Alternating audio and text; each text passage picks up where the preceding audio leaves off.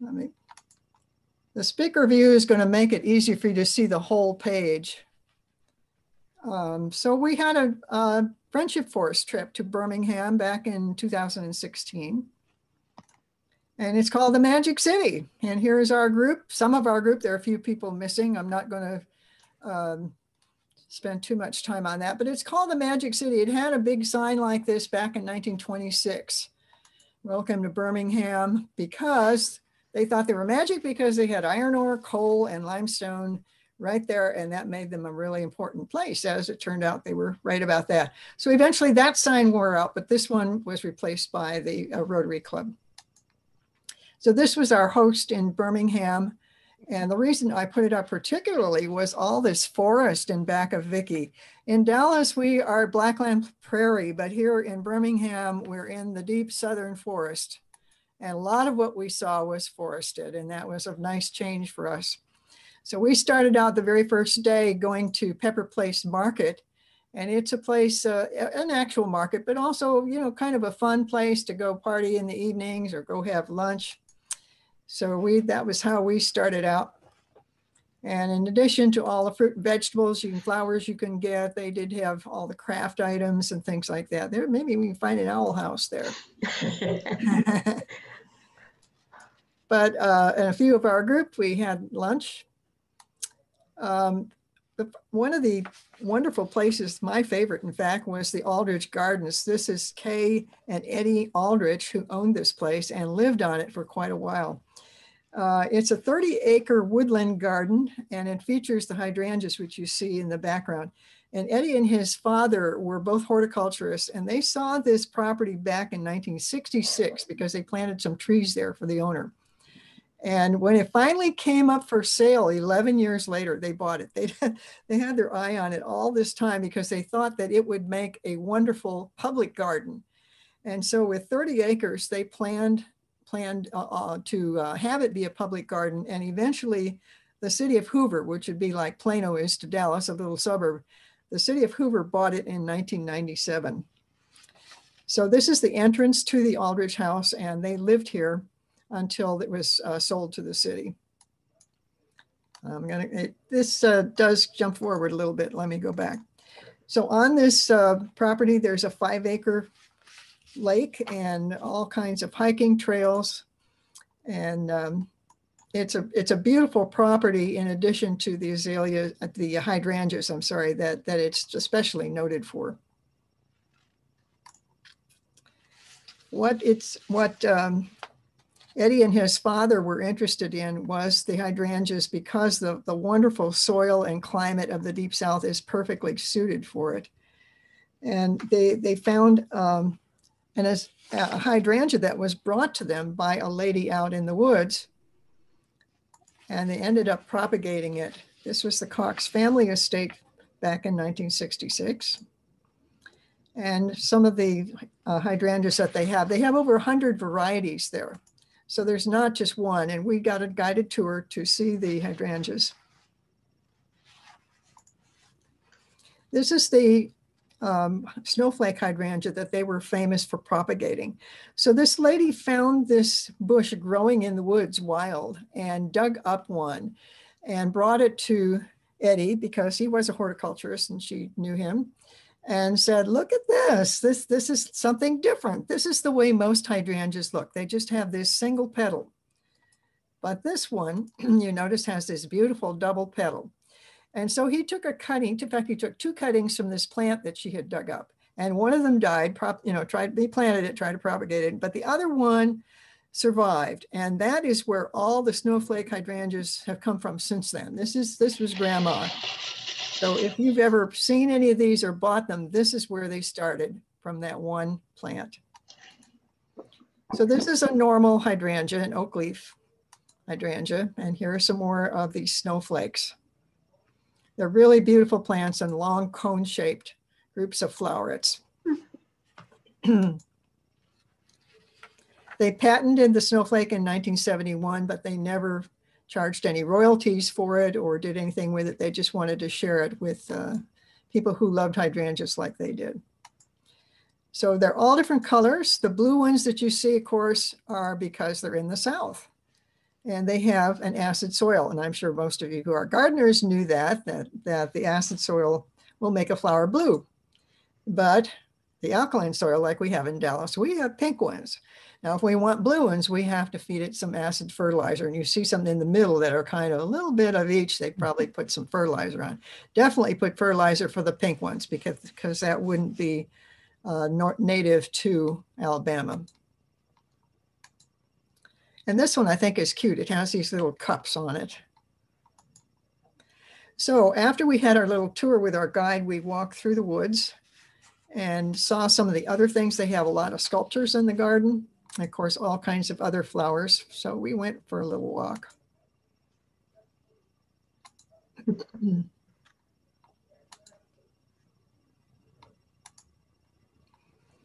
they have lots of other plants and bushes in addition to the hydrangeas, as you see. But they look like they're just growing wild everywhere. It's, it's really a beautiful walk.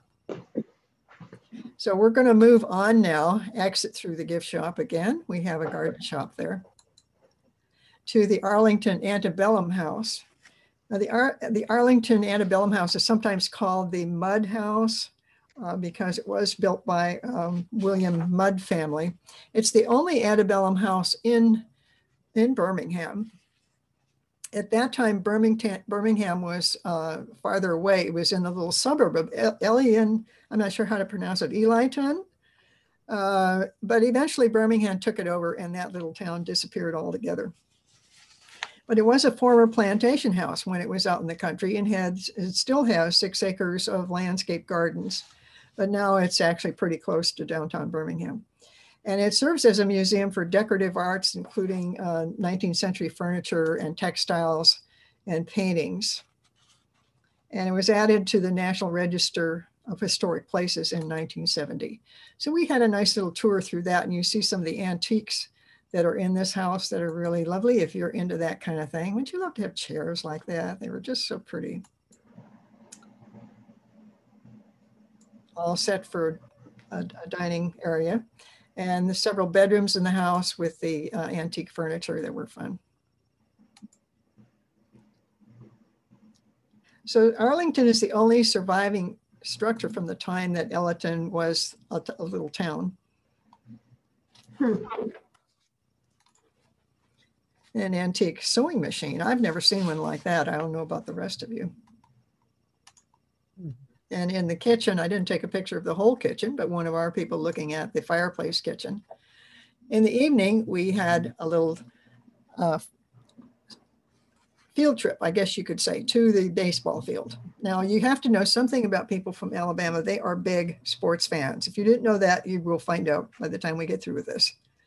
So we went out to the baseball game. It was um, the Barons versus Chattanooga. I can't tell you right now who won. I guess maybe we didn't even stay till the end, but it was 50 cent hot dog night, and that was a big thing.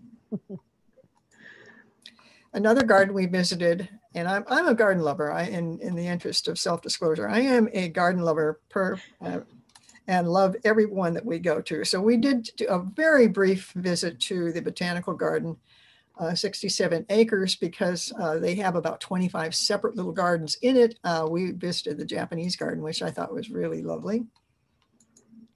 And they have a lot of sculpture as well. About 30 outdoor sculptures. Here's one of them and a few of our people walking through them. One of the interesting things in Birmingham to visit is the Civil Rights District. And of course, we're probably all familiar with the 16th Street Baptist Church.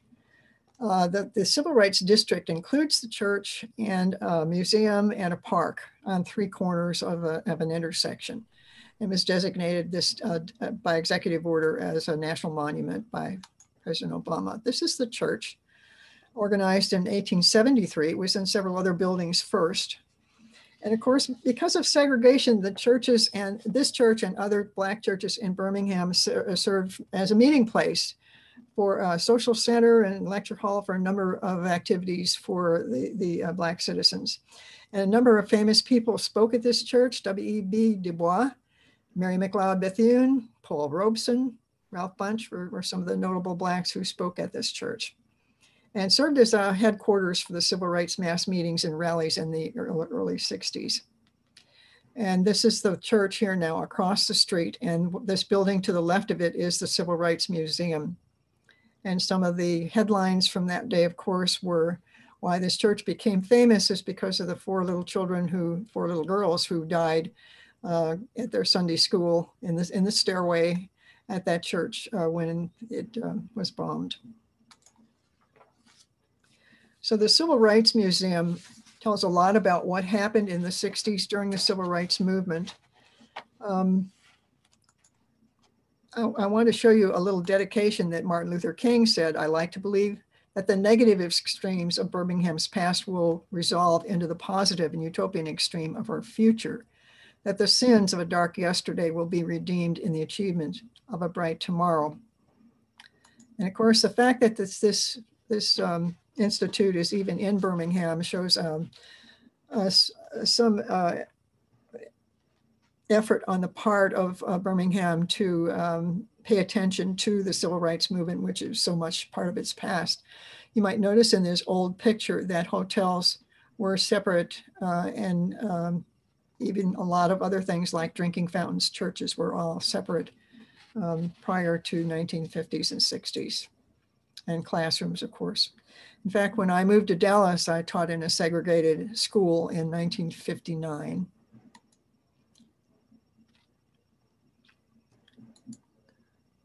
And Rosa Parks, of course, was uh, in Montgomery, which is not very far away. She was actually seated in the first row of the black section toward the back of the bus, but the bus filled up and she was asked to move and she would not. This boycott of the bus system in Birmingham lasted over a year. So it was something that was one of those turning points. Uh, in addition to Martin Luther King, who most of us are familiar with, uh, uh, Reverend Fred Shuttlesworth was another one who uh, was um, survived a lot of hardships in the, the uh, times that were hard for Blacks, but uh, continued in the civil rights movement along with Martin Luther King. Birmingham had such a bad reputation over uh, the 1950s and 60s. There were over 50 bombings. In fact, sometimes it was called Bombingham. It had a bad reputation. There were many marches, of course, that, that were done uh, and little videos would show on the wall. Um, Martin Luther King sh uh, shown here. And some of them beginning in uh, Birmingham and other places. Sit-ins,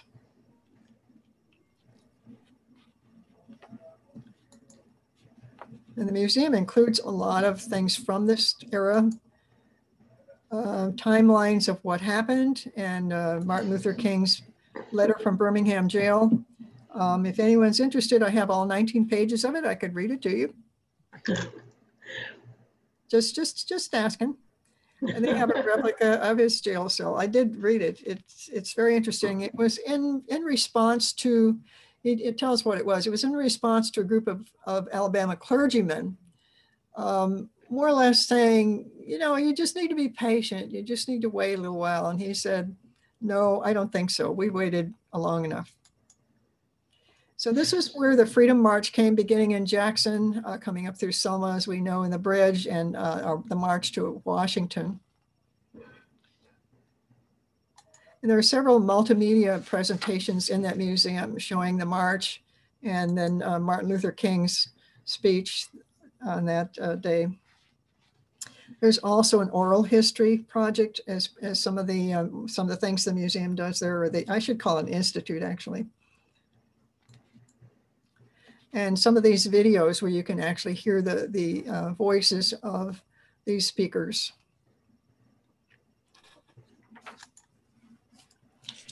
as I said, across the street on the other corner, across from, from the uh, Institute and kitty corner from the church is Kelly Ingram Park. And uh, this is a park that has some sculptures and quite a few sculptures in it about the, the way that uh, Blacks were treated. Often dogs were set upon them. Uh, this is a statue, a group of statues of the four little girls who were in the bombed church and Martin Luther King down uh, farther down the walk.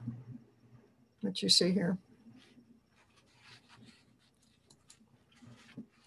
In the downtown area, which was just, uh, say, very, very close to it, you could, uh, we, we just passed through, walk, uh, walk by a few of the out, the outdoor of some of the buildings. They do have a, a sports hall of fame, one of the sports things that we saw, and they're doing some reconstruction of old neighborhoods, tearing out some of the old stuff. This is a, a rail yard and a, a, a stop on their light rail. So they've redeveloped this part of the, the um, close to downtown area, made a park out of it. this is just one little one that I threw in because of the pretty wooded area and the, the uh, type of house it is. This the Jemison house. Uh, Jemison was a developer and uh, he took some of this beautiful wooded areas and made all kinds of um, country clubs and shopping centers and neighborhoods and all kinds of things in this area, this pretty wooded area. So another part of our sports tour was visiting the Crossplex Sports Complex. That's a nice hand uh, mouthful. It's a great facility for swimming and track competitions. This was our president of the Alabama, uh, the, the Birmingham Club, looking down the hallway.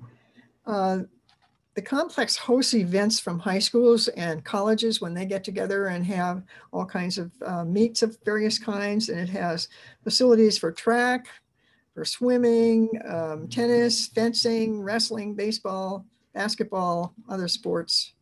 And some of the uh, like these, they can move these out of the way and have a track meet in here and all kinds of things.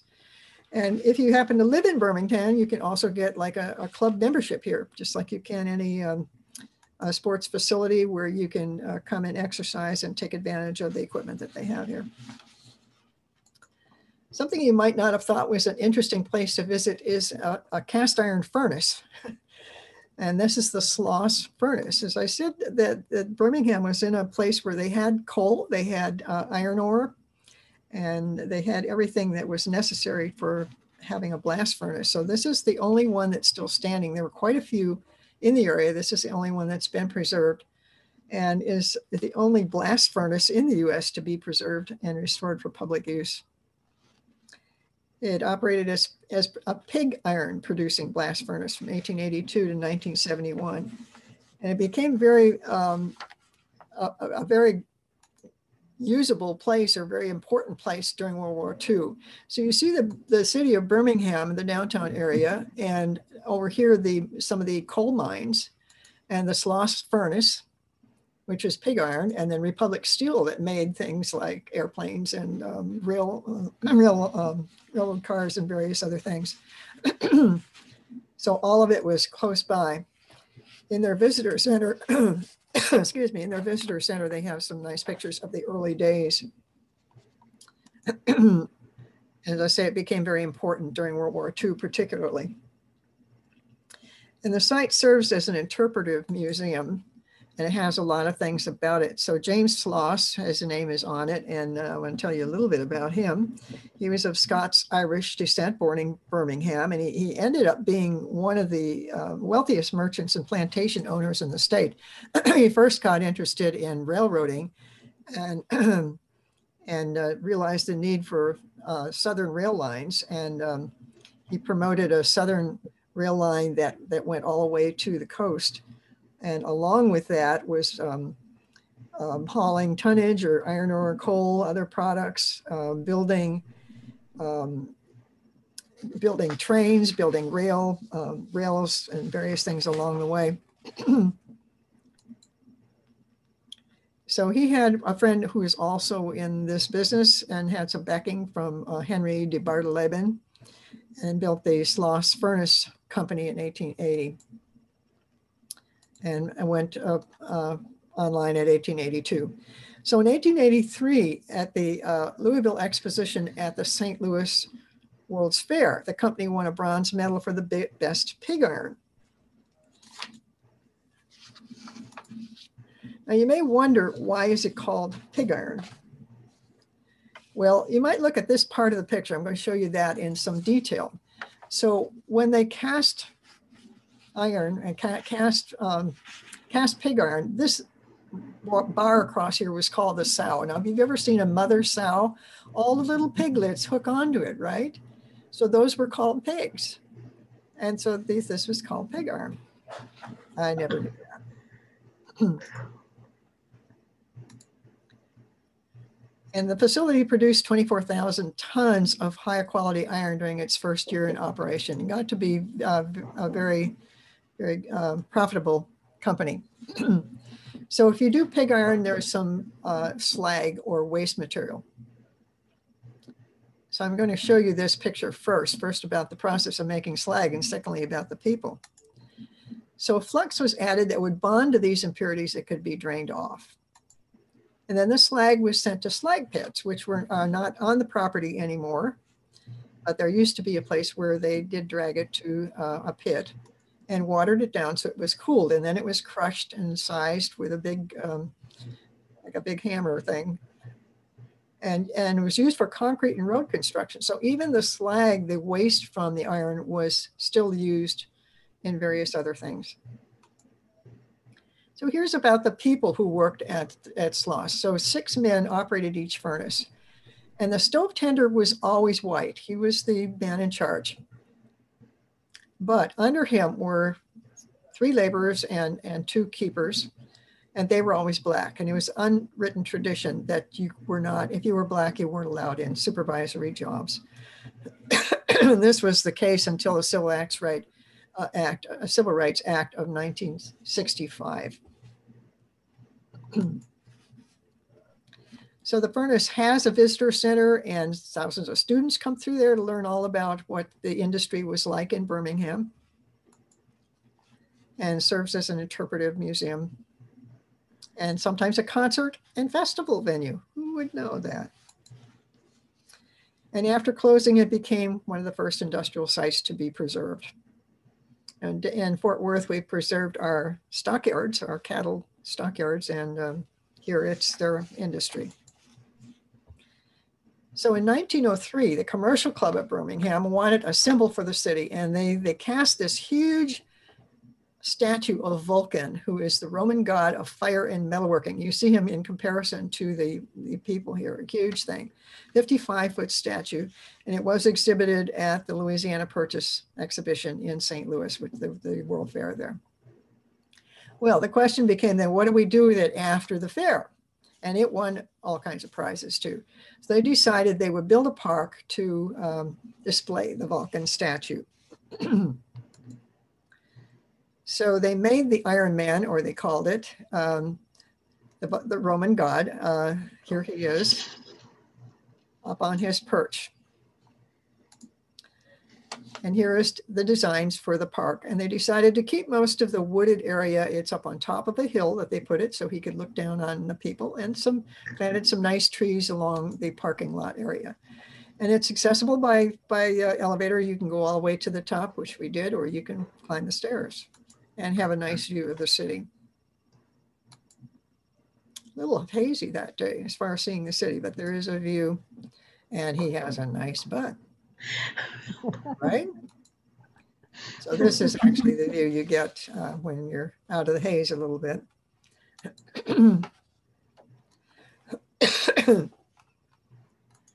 well, our, Mary, Yes. We did live it. Jack and I lived in Birmingham when we were first married. Yes. And one of the ongoing, I mean, we were there, what, maybe three years, four years. And one of the ongoing things was the churches were wanting to make pants for the Vulcan statue. Yeah, I can see that. It was an ongoing thing. uh, yeah, that, that does not surprise me. Okay, uh, we we did have to see more of the Alabama sports. So we we had they had a choice of taking us to Montgomery or to Tuscaloosa. And uh, Vicky, Vicky, who was in charge, says, "How much interest does your group have in sports?" And I said, "Like zero." so they said, "Well, you got to know what Alabamans are like, so we are going to take you to all our sports things anyway." so that, that was basically the way that conversation went. so so we we we drove down to Tuscaloosa and we had a tour of the University of Alabama Stadium, which is quite nice. Now you might see the uh, the little um, places where they have put their coaches, statues their coaches uh, who have won wonderful prizes for the University of Alabama. And I took one of Coach Bear Bryant because he was also at A&M. I was at Alabama. And we had our tour. A college student took us around. Other, the stadium is used for other things, the way Texas Stadium is in, in Arlington, Texas. So you can have your party, or I think it was set up for some kind of event, uh, actually, the day that we were there. Quite a large stadium, 101,000. the Crimson Tide. We were not there for in for a football game, but we did get to see the press box and the fancy things that you can see and went out onto the field. but the best part, of course, they like to show off is when they were champions and who won all these medals and um, who went on to play in the NFL, lots of them, who are the All Americans, and how many scholarships they have for various sports at Alabama, 85 of them being for football players. And yes, they said it's almost like a religion.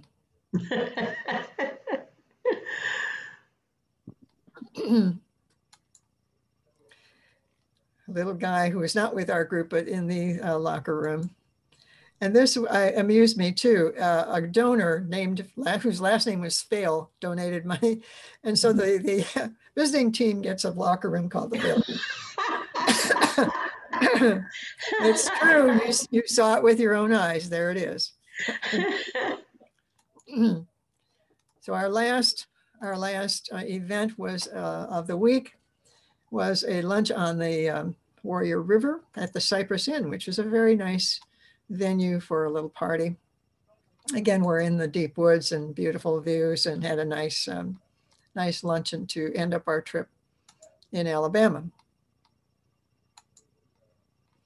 And that's the end of my little presentation.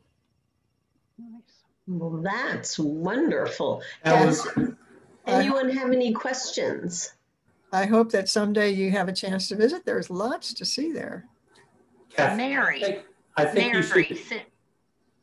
Mary, since you um, love gardens, have you been to Gibbs Gardens near Jasper, Georgia yet? I've not. I have to put that on my list. there are so many, but I have a lot of them. Yeah. They have the largest Japanese garden outside Japan. Gibbs Garden near where? Near where? It's near Jas. It's Ball Ground, Georgia. Ball Ground, okay, Georgia, and it's called. I do make Gibbs, a point to see them. Gibbs Gardens. Okay. It's it's like 250 acres, landscaped uh, acres, and he bought it 35 or so years ago and started landscaping it and mm-hmm. opened it to the public about 5 mm-hmm. years ago. Mm-hmm. And in the spring, there are over 20 million daffodils that bloom on the mm-hmm. hills in the mm-hmm. garden. It's amazing. that's gorgeous. So if you're ever in North Georgia, make sure you put Gibbs Gardens on your list. Uh, I wrote it down. Um, Kathleen might, um, if you twist her arm, she might let me show my American Gardens presentation sometime. I, have been all over the United States, including Hawaii. Uh, and some of my favorite gardens are in there. And then, of course, gardens all over the US are so different. Uh, from the southern gardens with the magnolias and the um, azaleas, all the way to the desert garden in, in Tucson, Longwood, um, of course, the Dallas Arboretum, Hawaiian Garden, and so forth. So that's a possibility. Yeah, if, there enough garden, if there are enough garden. Kath, Kath, I, think, I, I, I, think we need to let Kathleen say a little bit about the Alabama Bonsai Society. Kathleen was a member of the Alabama Bonsai Society, which she did the Japanese sculpture trees. And it, it was truly one of the one of the great bonsai clubs in America. It's right there in yeah. yeah. Yeah, there are some at some other gardens too, of course. Right. Well, the um, you showed a picture of the botanical gardens there in Birmingham, and um, Southern Living magazine, when we were living there in the mid 80s, um, Southern Living headquarters was like very close to the. Yes, yes, I heard that and they they I think they funded it. I mean they they had big sections and um, I think if they wanted to do a magazine shoot or something, they'd make the garden the way they wanted for the issue. Oh, of course. Um, but I mean, it was really lovely, and you did show the opening for the Japanese, the the red entryway, and um, um, that's where I first learned about bonsai, and I I really was very involved with it until children.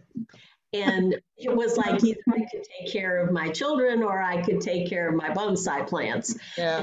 so, um, well, if it were up to me, we would have spent more time in the botanical garden, you know, no, rather than the sports things. But you know, you're, you're the guest of where you go, and that's what happens. So right, everything was interesting, even. I'm, I'm, I'm going to throw in a sports thing for Birmingham. Uh, when I was when we were living there, up there at the Vulcan statue, way on the top of Iron Mountain, they had a one mile run. And yes. they would run straight down the mountain. It was like a thousand foot elevation change, and you'd you'd end at Sloss Furnace. And it was the fastest mile I ever ran in my life. because you're going straight downhill, you know. So um, you know where maybe the fastest I'd ever done before was a seven minute mile. This is a five minute and 15 second mile. And everybody was there to set their personal record, and that's where I got mine. So. At least it wasn't uphill. that's where I would draw the line.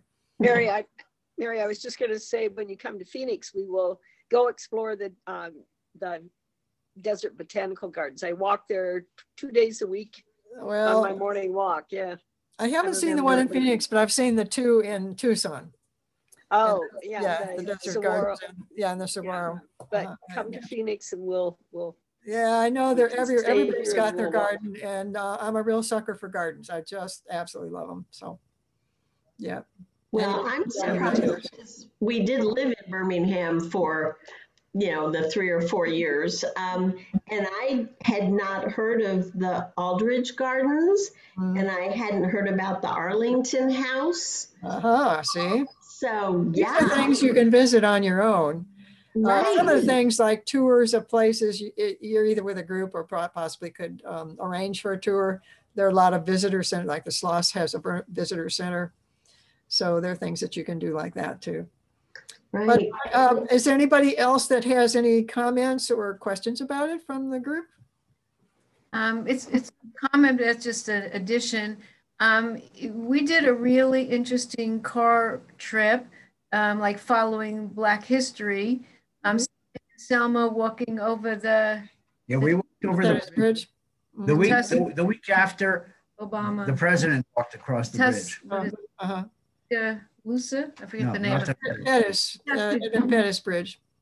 Anyway, and then um, from there we went to Montgomery and then Birmingham. All, all the civic rights museums in Montgomery, It was a amazing. fabulous trip and they're all very near each other. So it's a, it's an easy trip to plan. Um, there's another city that has an interesting uh, civil rights museum, and that's Cincinnati. And I hope we get to do that sometime too. We, we actually ended in Cincinnati, but I didn't want to go farther. Because of them ferrying um, runaways across the river, that that got to be a kind of a gateway for, across from Kentucky into Ohio. So I there are a lot of, lot of things along along the Ohio that that are um, The one interactive exhibit, and I don't remember if it was that one or another one in that trip, the best one I ever thought was really frightening, where you are a runaway slave and it's interactive and they give you these options like you you know you go across the water and you hear a horse going by do you go across do you stay do you hide and you have to make You have to a make choice ins- instant Instant- decisions. Yeah. to tell you whether you got caught or not whether Mhm. you ate it it was fascinating mhm. And where was Uh, that? I just, it was in, Montgomery. it- i'm not sure it was the montgomery civil rights museum or, or another one It that was we one went of to the in ones in birmingham Montgomery. i don't it was one of the two Okay. yeah. I didn't um, I went, hello? Um, I wanted to, uh, Mary mentioned William Du Bois. And uh, I, we call him W.E. Du Bois here. Yeah. I live in Pittsfield and about 15 minutes from where I live is where he was born in Great oh. Barrington in Massachusetts. And oh. he grew up there and graduated there from that area. And he was the first black man to attend Harvard. I don't know if anybody knew that. Oh, yes, yes. When you brought that his name up, I was like, oh my yeah, gosh. I had read that. Yeah. Mm-hmm. In fact, they just named a middle school in his honor okay. here locally. Now, the museum in Cincinnati is about the Civil War um, slave trade and the um, uh, Underground Railroad and, and that kind of thing. It's not the civil rights, it's Civil War Museum. Hmm. Not about the war itself, but, but the Underground Railroad part of it. But it's a very interesting place as well. Well, one other thing, um, just so everybody knows if you want to plan your own trip to Alabama, we actually have six members in the Birmingham area. We have one in Tuscaloosa. Um, if, if you want to go see Bear Bryant and all the sports stuff. Um, and I'm sure there are other things in Tuscaloosa. Um, but we have someone in Montgomery as well, which is the state capital. We didn't say that. And um, then we have somebody down along the coast, I believe, as well. There's, you know, not very much of Alabama's on the coast.